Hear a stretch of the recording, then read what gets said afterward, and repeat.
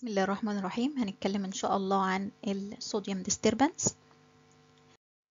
الصوديوم disturbance بيكون نتيجة ال water disturbance. عشان كده هنتكلم الأول عن ال water regulation قبل ما نتكلم عن ال hypo وال hypernatremia بالنسبة لل total body water ده بيكون affected بال gender و affected بال age يعني هو بيكون ال total body water حوالي 60% من ال body weight في ال adult male في ال female ال total body water بيكون 50% من ال body weight في ال old male and female ال total body water بيمثل 50% من ال body weight في ال infant ال total body water بيكون حوالي 70% من ال body weight ال total body water ده متقسم إزاي؟ في 2 third موجودين في ال intracellular fluid و1 third في ال extracellular fluid ال1 third اللي موجود في ال extracellular fluid متوزع 25% موجود intravascular في البلازما و 75% موجود في ال interstitial fluid ده مثال مثلا ل adult male ال body weight 70 كيلو جرام لو إحنا جينا نحسب ال total body water بيكون 60% من ال body weight 60% من ال 70 كيلو جرام يعني حوالي 42 لتر. fluid ال total body water متقسم ل extracellular fluid و intracellular fluid ال intracellular fluid بيكون حوالي 2 thirds يعني حوالي 28 لتر. ال extracellular fluid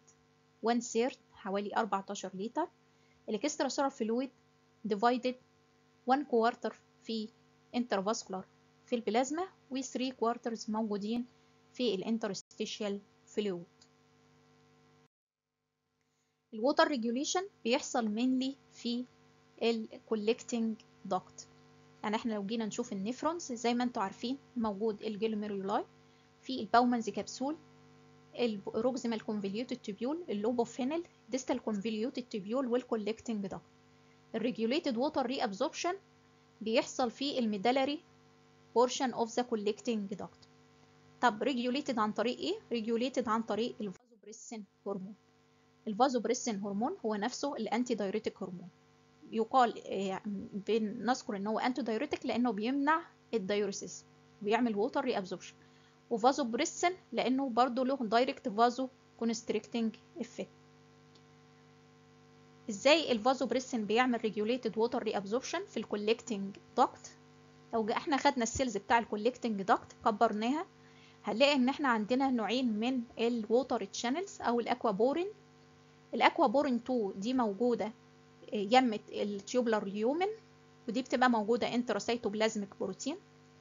وال aquaporin 3 موجودة على ال basolateral membrane اللي هو يمة ال blood ودي موجودة على ال cell membrane ال secretion of vasopressin بتعمل exocytosis لل aquaporin 2 اللي هي موجودة في السيتوبلازم وبتطلعها على ال cell membrane وبالتالي بيحصل ال water reabsorption يبقى ال vasopressin ال action بتاعه بيكون في على ال medullary collecting duct عن طريق ان هو بيعمل exocytosis لل aquaporin 2 وبالتالي هيزود ال water reabsorption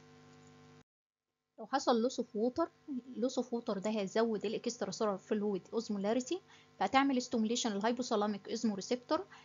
في لل osmoreceptor هيعمل زيادة في ال release لل vasopressin ال vasopressin زي ما قلنا بيزود ال aquaporin in the collecting duct وبالتالي بيزود ال water reabsorption فتبقى ال net result إن بيحصل water retention يعادل ال water loss اللي حصل في الأول ويحصل euvolemia or equilibrium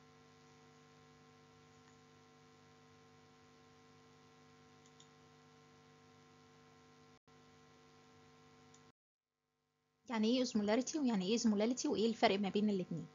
ال osmolarity وال osmolality دي عبارة عن unit لل measurement of osmotic activity يعني إيه osmotic activity يعني لو أنا عندي semipermeable membrane و two solution one with low mineral content and one with high mineral content the water will pass from the low mineral content to the high mineral content to dilute the concentration of the solute وإحنا بنقول ان ال water follow ال solute ال water will translocate to the site of high solute concentration إيه الفرق ما بين ال osmolality وال osmolarity ال osmolality دي عبارة عن ال number of particle per kilogram of solvent ودي بتبقى measured في ال clinical lab بجهاز اسمه ال osmometer وال normal value بتاعها من 280 ل 295 milliosmole per kg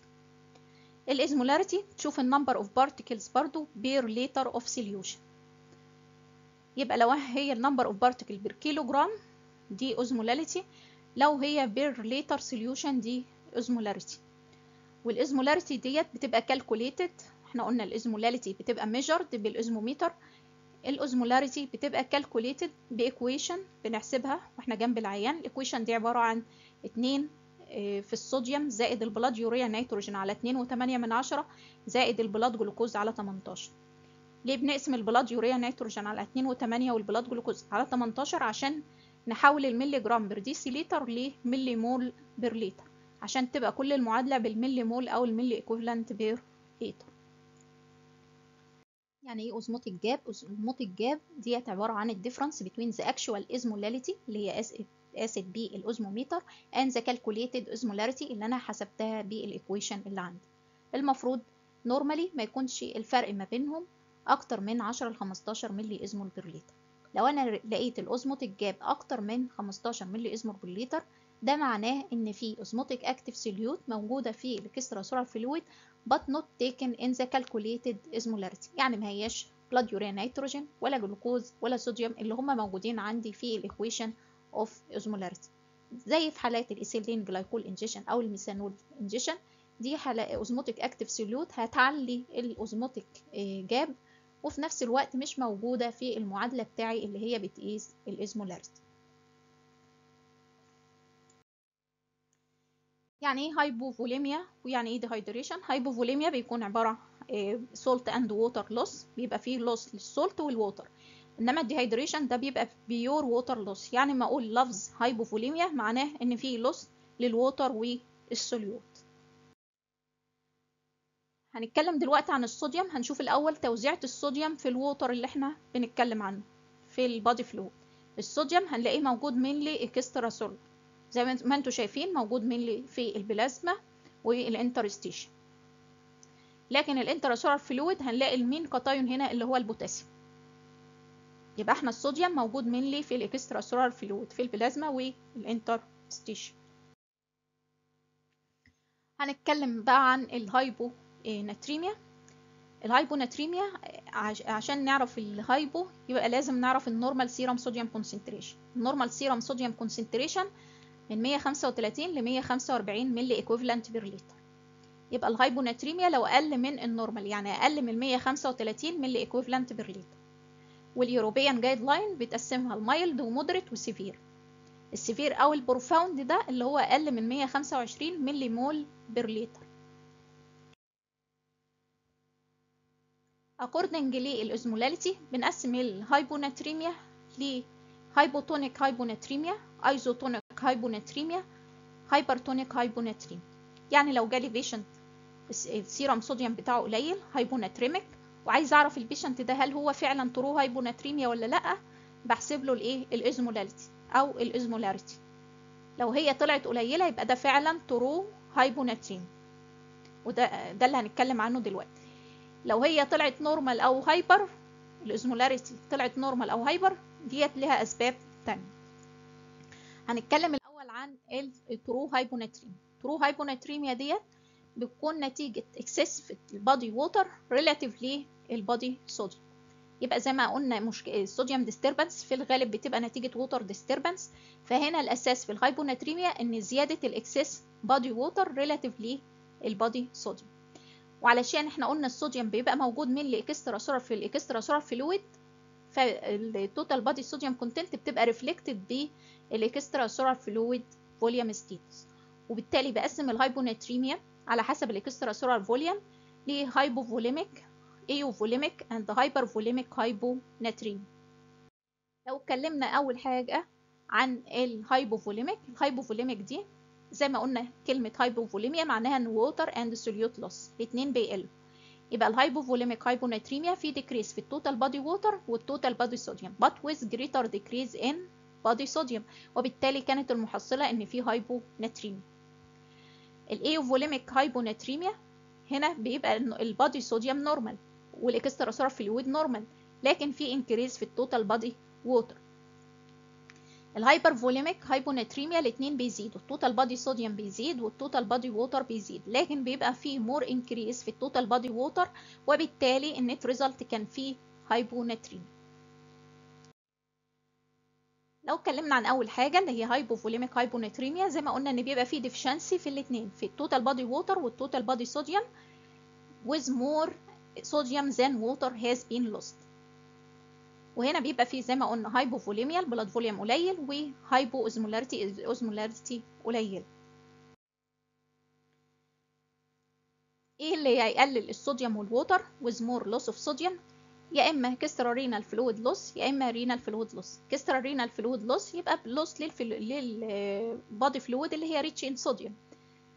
اللي هي ال GIT fluid بيكون زي في حالات البروتراكتد فوميتنج أو الدايريا أو السيكوستريشن في الثيرد سبيس زي مثلا ال ascites أو ال effusion ولو ال loss دوت يعني في حالات ال vomiting وال diarrhea لو ال loss دوت replaced by plain water أو hypotonic fluid في الغالب ده بيعمل إيه؟ بيكون السبب في ال hyponatremia هنا ال kidney normal فبالتالي ال kidney بتعمل reabsorption للصوديوم عشان في extrarenal loss لل water والصوديوم فال kidney بتعمل reabsorption للصوديوم فال urinary sodium بيبقى أقل من ال normal لأن ال kidney هنا بتحاول تعمل conservation للصوديوم اللي بيوصل لها تاني حاجة إن هو ممكن يكون سبب ال hypovolemic hyponatremia إن هو ممكن يكون renal fluid loss renal fluid loss إن بيحصل loss للصوديوم وال water عن طريق ال kidney. زي في حالات ال aldosterone deficiency لأن الالدستيرون بيعمل salt salt and water retention فال deficiency بتاعه هتعمل loss لل salt ولل water also ال diuretics وال diuretics بتعمل هتعمل صوديوم excretion أكتر ال thiazide diuretics بتعمل صوديوم excretion أكتر من ال water وال osmotic diuretics وفي حالات ال salt losing nephropathy زي حالات ال interstitial nephritis أو ال medullary cystic disease هنا ال loss of sodium كان عن طريق ال kidney فبالتالي ال urinary sodium هيكون أعلى من ال normal أعلى من 20 milliequivalent per liter في في ال diuretics كده بنفرق ما بين ال thiazide وال loop diuretics ال thiazide بتزود ال sodium excretion أكتر فبتبقى common إن هي تبقى presented بيه معاه hyponatremia لكن ال loop diuretics بيبقى مع فيه ال water loss أكتر من الصوديوم ودي هناخدها في أكتر في ال hypernatremia يبقى كده ال hypovolemic hyponatremia حاجة من الاثنين يا إما ال loss حصل extra renal وهنا ال urinary sodium هيبقى قليل يا إما ال loss حصل renal وهنا ال urinary sodium هيبقى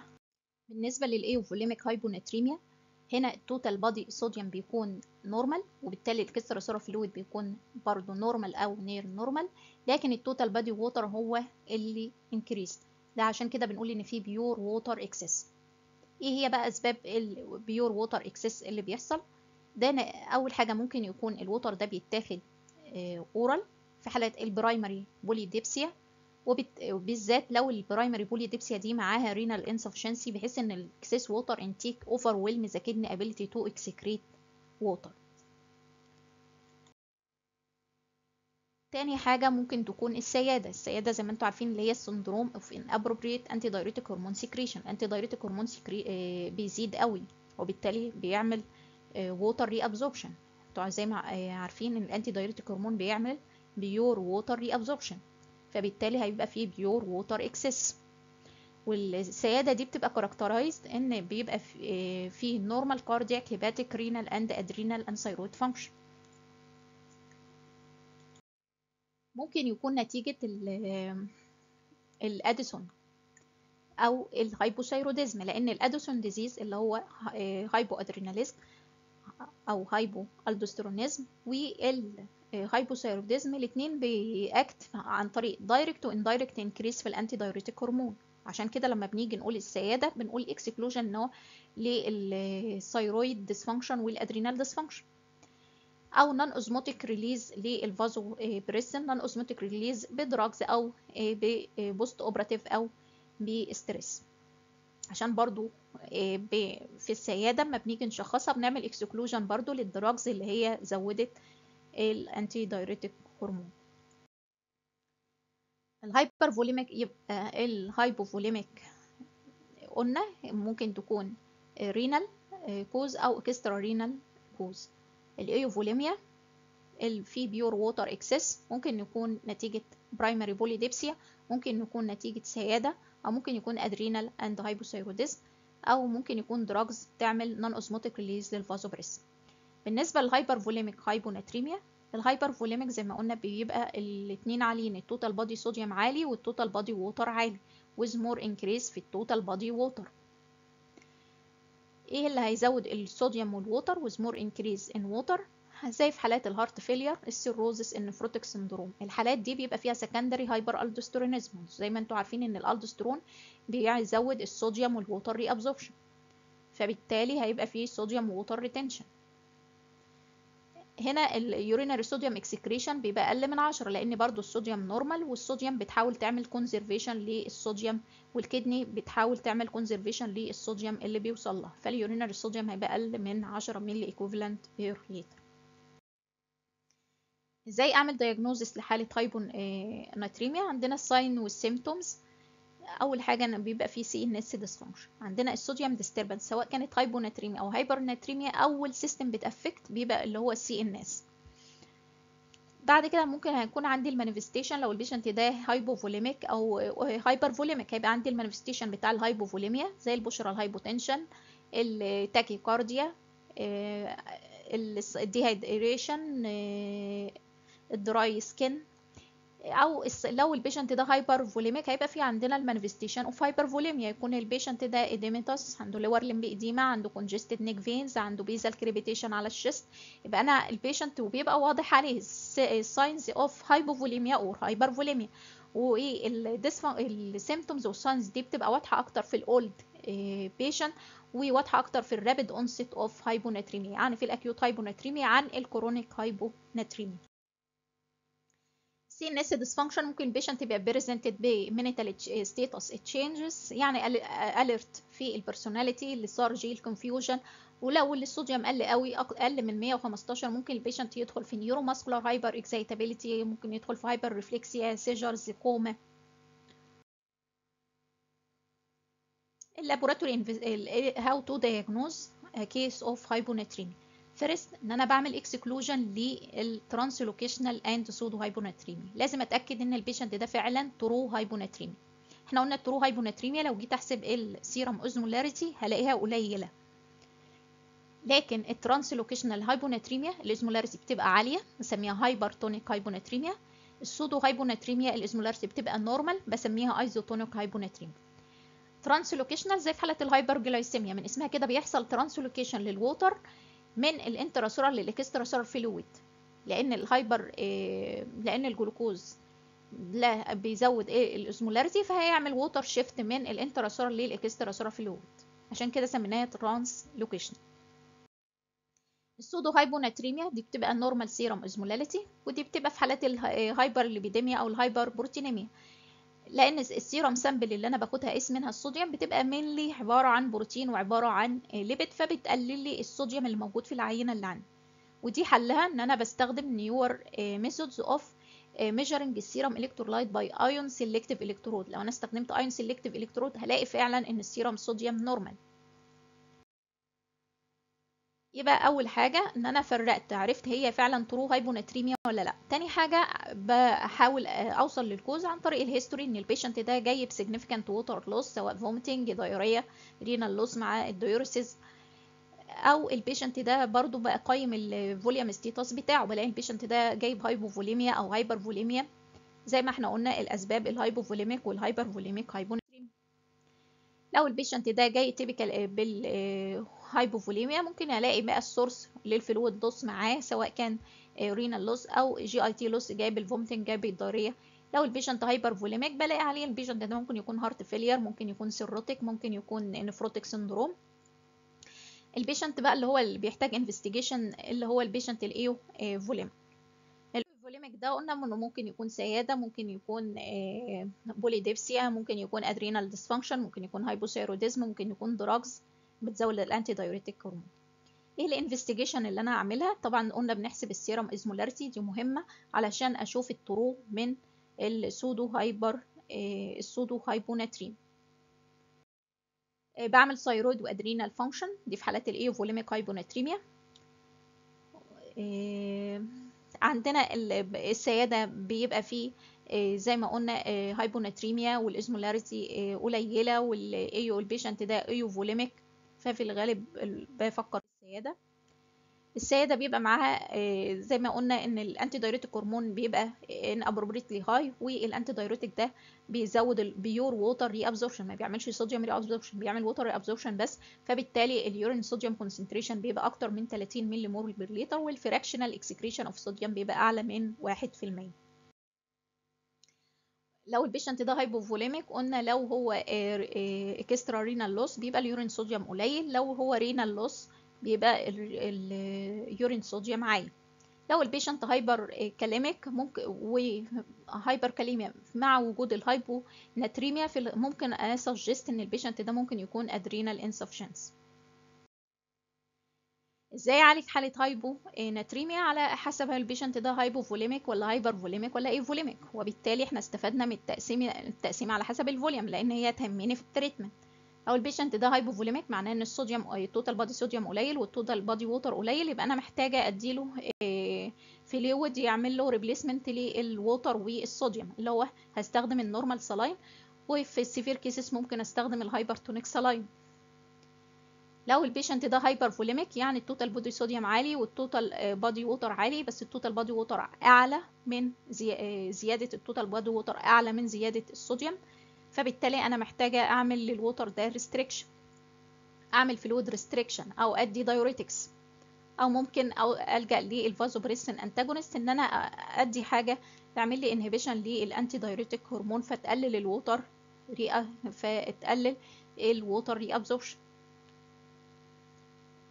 ال patient ده لو هو euvolemic ده طبعا هيعتمد على إن أنا أعالج ال cause. مهم قوي إن أنا ما أزودش الصوديوم عن أكتر من 8 milliequivalent في أول 24 ساعة وإن ال rate of correction ما يكونش أعلى من نص milliequivalent per liter of hour لأن لو حصل too rapid correction ممكن أدخل ال patient ده في osmotic demyelination syndrome لو جينا نفص نف... يعني نفسر قوي ال treatment إحنا قلنا ملخص سريع فاحنا هنقول مثلا ال patient اللي هو ال hypovolemic اللي أنا هديه saline تسعة من عشرة saline وقلنا بعض الحالات ممكن نلجأ لل hypertonic saline ال patient اللي هو ال hypervolemic قلنا إن أنا أعمل water restriction ممكن ألجأ لل loop diuretics هدي diuretics diuretics وممكن أدي معاها normal saline normal saline عشان يعوض لي الصوديوم و diuretics علشان يعمل لي water loss intermittent ممكن أعمل hemofiltration hemofiltration وفي نفس الوقت أنا بدي إيه normal saline يعني بعمل normal saline وأعمل إيه hemofiltration عشان أتخلص من ال water ال patient الإيه volemic طبعا مع علاج ال cause إن هو لو hypothyroidism هعالجه لو في مشكلة في الاديسون أو كده ادي treatment إيه لو ال SIADH present هعمل severe water restriction ممكن أوصل بال water restriction ل 250 ل 500 مللي per 24 hours. وممكن أعمل برضو combination لل loop diuretics عشان أتخلص من ال excess ال pure water excess وأدي combined مع ال normal saline ده بالنسبة لل hyponatremia بالنسبة بقى لل hypernatremia إحنا عندنا ال normal sodium concentration زي ما قلنا من 135 ل 145 milliequivalent per liter وبالتالي ال hypernatremia هيبقى ال serum sodium concentration أكتر من 145 milliequivalent per liter أسباب ال hypernatremia إحنا قلنا ال hyponatremia كان فيها excess water relative للصوديوم هنا العكس بقى ال hypernatremia reflect deficit of total body water relative لل total body sodium وال total body sodium content بتبقى reflected بال extracellular fluid status فأنا برضو هقسم ال hypernatremia according to ال volume status ل hypovolemic euvolemic and hypervolemic hypernatremia ال hypernatremia في الغالب بيبقى مع impaired في ال thirst mechanism أو limited access لل water دي بتبقى contributing factor إحنا قلنا في water deficit ال water deficit ده مشكلة. الإنسان ده ما بياخدش مي ما بياخدش water نتيجة ل impaired في ال thirst mechanism أو إن ال patient ده limited access لل water أو اتكلمنا أول حاجة عن ال hypovolemic hypernatremia إحنا قلنا قصة hypovolemia يعني فيها water and sodium loss لكن هنا هيبقى فيه greater loss of water than الصوديوم وبالتالي هتبقى المحصلة إن بقى فيه hypernatremia إيه اللي بيعمل sodium loss with greater loss of water زي في حالات ال renal cause ممكن ال loop diuretics زي ما قلنا ال loop diuretics بتعمل excretion لل water أكتر من الصوديوم برضو ممكن يكون ال osmotic diuretics وبالذات ال hyperglycemia مع حالات ال diabetes. أو ال patient ده يكون patient of renal disease chronic renal disease فده بيبقى عندهم inability to concentrate ال urine وبالتالي بيبقى عندهم water loss. ال euvolemic hypernatremia بيبقى فيه decrease في ال total body water ال total body sodium normal عشان كده ال patient euvolemic ففي decrease في ال total body water فهنا بيبقى فيه pure water deficit عكس أسباب ال euvolemic hyponatremia هنا. زي في حالات إيه اللي بيعمل pure water deficit pure water loss قللان ال antidiuretic hormone زي في حالات ال diabetes insipidus. هنا بيبقى فيه deficiency في ال antidiuretic hormone antidiuretic hormone سواء كانت سنترال إن هو ما بيتفرز أساسا سواء كانت peripheral إن في resistant ال action ال antidiuretic hormone أو ممكن ال pure water deficit ده بيحصل extrarenal زي في حالات ال excessive sweating لأن ال sweat ده hypotonic فبيحصل منه loss of water لما بيبقى فيه excessive sweating فبيحصل loss of water أكتر من الصوديوم. فبيعمل hypovolemic بيعمل الأول euvolemic hypernatremia ولو excessive قوي ممكن يدخل ال patient بعد كده في hypovolemic hypernatremia ال primary hypodipsia ان ال patient ده ما بياخدش زي ما قلنا limited access لل water أو impairment في ال thirst center بالذات في ال children اللي عندهم مثلا brain damage أو في ال chronic elderly adult اللي هم بيعتمدوا على ال water على حد يسقيهم أو كده. أو due to impaired في ال thirst mechanism نتيجة lesion في ال brain thirst center ال hypervolemic hypernatremia قلنا ال hy كلمة hypervolemia دي معناها إن ال total body sodium زاد وال total body water زاد. لكن هنا بيبقى ال total body sodium زاد أكتر من ال water يبقى في زيادة في المحصلة إن في زيادة في الصوديوم معاها limited access لل water ودي في الغالب بتبقى iatrogenic يعني ممكن تكون نتيجة excessive administration ل hypertonic saline وأنا بصلح ال hyponatremia أو excessive administration ل hypertonic sodium bicarb مثلا في لو أنا بنصلح ال acidosis إدينا sodium bicarb كتير. ممكن تدخل ال patient في hypervolemic hypernatremia ال symptoms وال signs أول حاجة السيرست سensation أول حاجة في ال symptoms لحاله hypernatremia إنه يكون في سيرست سensation absent of سيرست sensation suggest إن في impairment في ال thirst mechanism يبقى في مشكلة في ال thirst center أو ال thirst mechanism زي ما قلنا سواء ال hypo أو ال hypernatremia بتبقى present first by CNS dysfunction ممكن ال patient present ب confusion neuromuscular excitability hyperreflexia seizures أو or even coma ال diagnosis ده بيعتمد على زي ما قلنا clinical من ال symptoms وال sign وبيعتمد على ال serum sodium إن أنا بلاقي ال serum sodium أعلى من normal أعلى من 145 milliequivalent per liter ممكن ألجأ لبعض ال test زي ال water deprivation test في تشخيص ال diabetes insipidus إزاي أعالج بقى حالة hypernatremia زي ما قلنا ال hypernatremia ملخصة إن بيبقى فيه water deficit relative to ال sodium فبالتالي أنا عايزة أعمل replacement لل water deficit replacement لل free water فأنا بعمل hydration بعمل replacement لل intravascular volume of free water بعمل hydration لو ال patient يقدر ياخد oral ال patient conscious ومفيش مشكلة في ال GIT فبعمل له oral hydration لو في severe hypernatremia أو البيشنت انيبل تو درينك نتيجة vomiting نتيجة mental status changes ففي الحاله دي بلجأ لل intravenous hydration وطبعا ال correction لو هي حالة acute بعمل correction في على مدار ال 24 ساعة. لو هي chronic يبقى should be corrected over 20 48 hour وال rate of correction برضو ما يزيدش عن نص milliosmole per liter بال hour في ال hyponatremia قلنا لو ال rate زاد of correction زاد عن نص milliosmole per liter بال hour هيدخل ال patient في osmotic demyelination syndrome برضو في ال hypernatremia لو ال rate of correction of sodium زاد عن نص milliosmole per liter per hour هيدخل ال patient في cerebral edema ده ملخص ال treatment إن أنا آه، بعمل hydration سواء oral أو intravenous hydration لو اتكلمنا بالتفصيل شوية هنلاقي إن آه، هنقسم ال patient لو ال patient ده hypervolemic hypernatremia يعني الصوديوم عالي وال water عالي والصوديوم أعلى من زيادة الصوديوم أعلى من زيادة ال water فمحتاج أنا أدي ال patient ده آه، بدي ديكستروز 5% لأن الديكستروز ده عبارة عن distilled water فيه 5 جرام جلوكوز لكل 100 آه، ملي water يعني ما فيهوش صوديوم خالص كأني بدي free water وممكن أدي معاه ال loop diuretics علشان أقلل ال hypervolemia اللي موجود لو ال patient euvolemic يعني عنده pure water deficit وال total body sodium normal لكن في pure water deficit في الحالة دي بعوض يا إما ب ديكستروز أو half saline ما ببقاش خايفة قوي من الصوديوم زي حالات الايه ال hypernatremia ببقى خايفة أدي صوديوم. لكن هنا ممكن أدي